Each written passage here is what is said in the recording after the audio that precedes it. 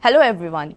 So we've all heard about different kinds of labs like a physics lab, a computer lab, a chemistry lab. Now what's coming up is live nature lab and it's becoming popular across the world. But what is all about it? Let's hear it from the brain behind the Professor Miyawaki Memorial Live Nature Lab. Hello Mr. Hari. So what is this live nature lab? See, as everybody knows, nature lab is a concept where we have we can explore nature. There will be dry leaves, uh, specimens of uh, animals, insects, and all those things. But this is a live place where you can see them actually moving around with no control. I mean, if you go to a zoo, you can see the animals in a cage or something. But here it is naturally breeding, naturally living, naturally going around, and uh, naturally getting killed by others, prey, predator, all those things are here. So, to impart that knowledge of nature, we have set up this nature lab, which is very much like an urban forest. So, here what we have done is we have added so many species of trees, and naturally the insects came there. So, insects, uh, plants, and also the soil. All these things together make the live nature lab. So, we thought uh, we can have a prototype of this in schools. For that, we made a small model of around 1000 square feet, which can be put in a school. So, this is the concept of live nature lab. Live Nature Lab. So, what is unique about this particular nature lab that you have created here in Trivandrum? Yeah, uh, the specialty of this nature lab is originally you, you, you should have seen this place some 10 15 years back because as you can see there is a quarry on the other side of this thing. This is also rock. This was also supposed to be used for mining. I came to this place because this was the cheapest land available in Trivandrum. It's only some 10 kilometers from the heart of Trivandrum city, 12 kilometers or something. So it's easily accessible for me. I can come on a scooter every day here. And I thought I will uh, buy this land and uh, uh, I will plant some trees here. Of course, I could uh, uh, I was able to buy this land. But then uh, while started planting, I found that there is no water here. Even I had a feeling that there will be no there, there would be no water in the beginning itself. But I never thought that it would be this worse. The groundwater level here is almost 350 feet below the ground level.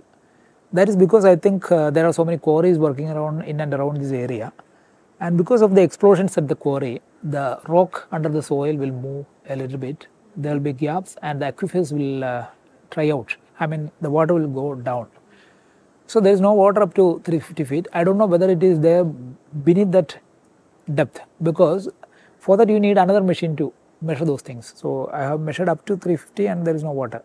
So how to plan things there? But all this happened only later. In the first 10 years, I didn't uh, think of this uh, science of it, think of the science of it. And what I did is I was just planting trees here every year I planted some 500 trees, 500 saplings, and uh, 50 of them survived. So I thought after 10 years there will be 500. When I looked at it after 10 years, then only it was only 50, because every two or three years interval there will be a drought, and in that drought every everything will dry out. So this was happening continuously, and I was thinking of what to be done, and then I heard of Miyawaki model of forestation. Uh, one of my friends Bobby Mohan and uh, one of my nephew Krishna Prasad, they sent me the links of a TED talk by Shubhendu Sharma. For, it, it lied in my inbox for almost one month because I was not very serious about it. Then both of them uh, orally told me that uh, this is something very important. It is a, it's creating a forest in a small area. So I went to that and I got the basic idea I bought the book of Professor Miyawaki and learned about it from uh, web and all. In those days, there were very little source on web because this is basically the information on Miyawaki forest is mostly in Japanese, I think. So there was there were no material at that time. It was in 2015 or 16. So I tried to get whatever information and I planted this forest. This is the first forest. Now it is 60 feet high. Many of the plants there, and that was done in 2018 January. That means almost six years back. So I found it a success and uh, then I went to meet Professor Miyawaki and I continued this endeavor. That is how you started. You started about this. So you're saying this was a barren land that you've converted into a, a yeah, so a live forest model basically. So uh, I mean, as you know, right, this term, the live nature lab, is just coming up now. And uh, is this a fad? Like, is it it's just going to be at a micro level uh, experiment or do you think it will become a popular thing and more and more people will start adapting it you would see schools having nature labs where do you see this going uh, i see two three opportunities in this because live nature lab is a concept that is going to grow in the coming years because it's a necessity.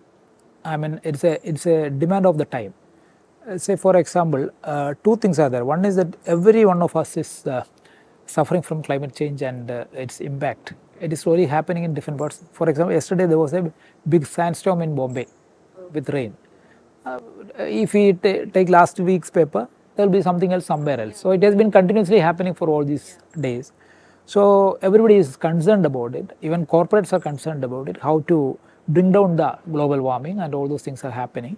But they don't have places to experiment this or uh, teach the concept to the younger generation. So this will happen because uh, those who are working on this thing need a model for uh, infusing this information in children. And the best thing is having a small place in every school. So now UNCCD, Uni- United Nations Convention on Combating Desertification, they have taken this up and they are going to start this in 1 million schools. And the first conference is conference will be held in uh, Bonn in June. So it is happening from that place. Second thing is the climate industry. I mean the climate change and its related issues and all. It is becoming a trillion dollar industry. Yeah. So when a new industry comes, even um, uh, plastic uh, recycling, all those sustainable things are part of it, and uh, not just planting trees. So many things are there. So many components are there. Yeah. So that means there will be a lot of opportunities, a lot of courses, a lot of uh, professionals are required in that area. So the basic training for them can be started in this live nature lab, and uh, we cannot go to forest and learn things like that. One is uh, the human-animal conflict is very much there in many areas where forest is uh, shrinking down. Correct. And also the accessibility. Yeah, accessibility and uh, the risk of it. Uh, people don't want to take the risk. So nature lab is a safe place because only those animals which we allow to come. I mean, uh, these are mostly the. Uh, uh, we can't say that uh, they are completely this thing uh, free of uh, this any danger to it. But there is no uh, wild animals there in the nature labs. Only those It's a more secure environment. Yeah, it's a secure environment. And in school and all, it will be only in uh, thousand square feet. That is hundred square meter. It is just like a classroom. Only thing is that you have a live model, and the classroom is in the middle of that live environment. The problem now is to convince the school authorities that this is the next requirement for their schools. It will take some time. So I think uh, that is the only delay in uh, implementing this concept. But otherwise, you would see in the future, definitely this is going to become a popular. every every school needs it. Yeah, every school needs it because you cannot see normally all these insects come out in the morning, and butterflies and all those things because we we cannot see these butterflies and birds and all uh, in these flats and all. So there can be a nature lab uh, in the school compound, and you can go there in the morning or evening or whatever time you are in the school, and you can see what is happening there, and teacher can guide them. They can give them assign, assignments draw the picture of the insect or uh, take a photograph of this insects or uh, maybe can have a video conference with a school in uh, Kerala and a school in Himachal Pradesh on the diversity of the uh, plants there, uh, flora and fauna. So there are a lot of different- yeah, opportunities lot of opportunities are there. which you can- which can come up. which we We not can- done, we can, it can be done. it can be done.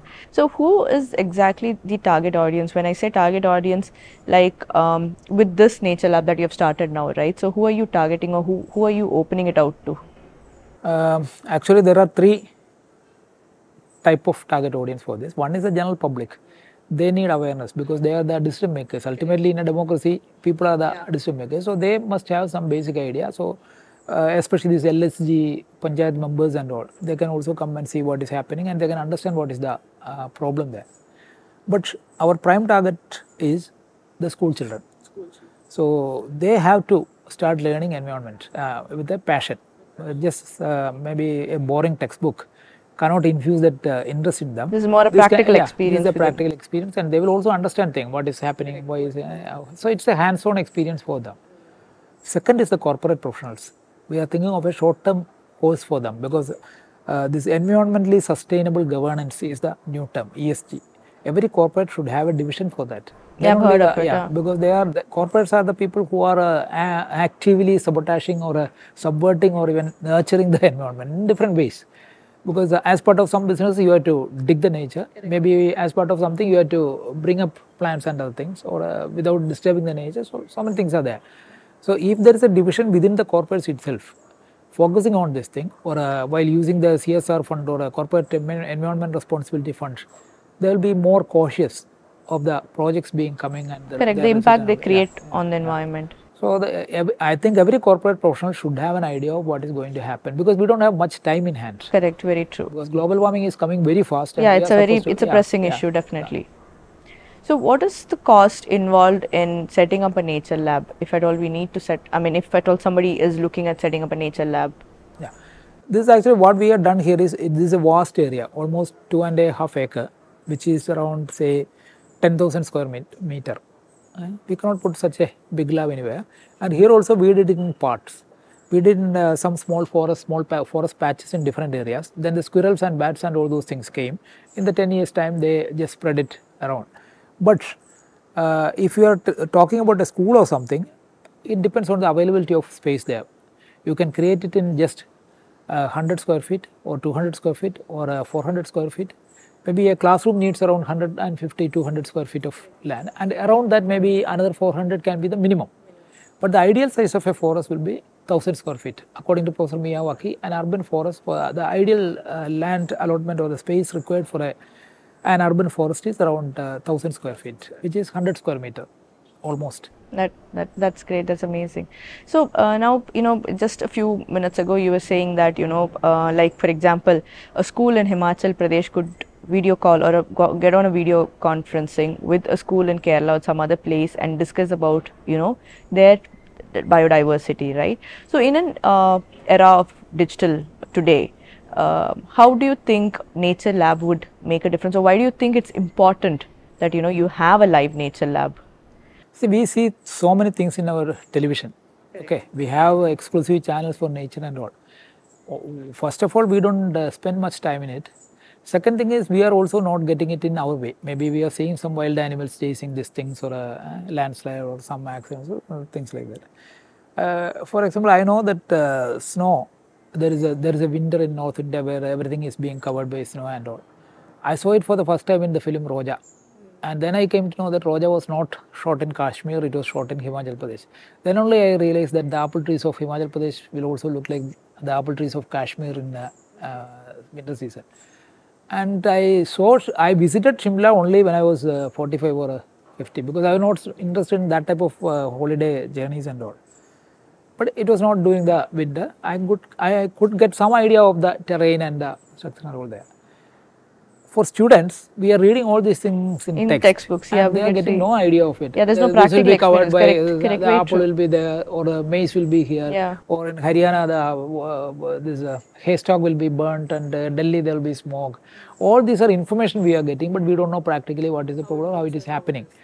But if some students here communing with the students on the other side, so they will also uh, start thinking more about it in the problems in their surroundings when somebody asks about it. When I asked a boy today uh, about the uh, sandstorm in Bombay, definitely he will try to understand more about it and share some information and all. So this is the age of communication. We are uh, sending so many trolls between us, among us. Yeah. Rather than that, we can be, Share use it for information. a little more uh, useful, Share yeah, information which is going to be useful for us useful and where we can create an uh, impact, right? Race. Correct. Correct. Very nice. So, uh, by when would this nature lab be open to public? Is it already open to public, or how does one reach out to you? It is formally opened, but now we have to do some more things. We have uh, placed some uh, 75 billboards here. We need another 45 because uh, the people who come here, it's in English and Malayalam, so they can read it and understand. But our idea is to make short films on that and later with QR uh, code scan and all to see this in different languages because artificial intelligence is there. So translating videos to one language from uh, other is not a big issue now. But all those things will take time and money. So I think it will be completed in one year's time. But still, there is a lot of things to study here even right now, and we are starting our courses now because uh, we, we have some very good scientists here who work with the prestigious institutes, research institutes, and all. So they have extended their cooperation.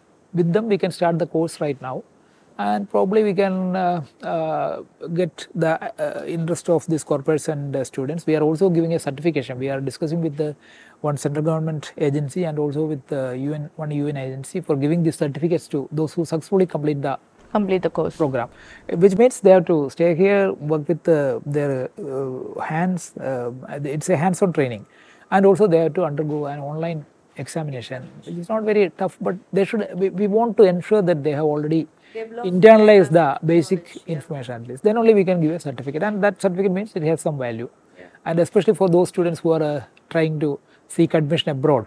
So this community work and voluntary work and environmental awareness, all those things have some importance in that type of courses. Ah, yeah, that will get some grace mark or something for their admission. So that's also our concern. So uh, it was lovely talking to you, and you know the, you have shared some valuable insights today, and you have a very uh, you know noble vision, I would say, right, to create more impact and, and and create a better future for the next generation. I wish you all the very best, and thank you. Thank you. Thank you for uh, your time. Uh, I was able to explain these things because uh, you asked the proper questions, Yeah, so I'm very much grateful to you. Thank, Thank you. Thank you.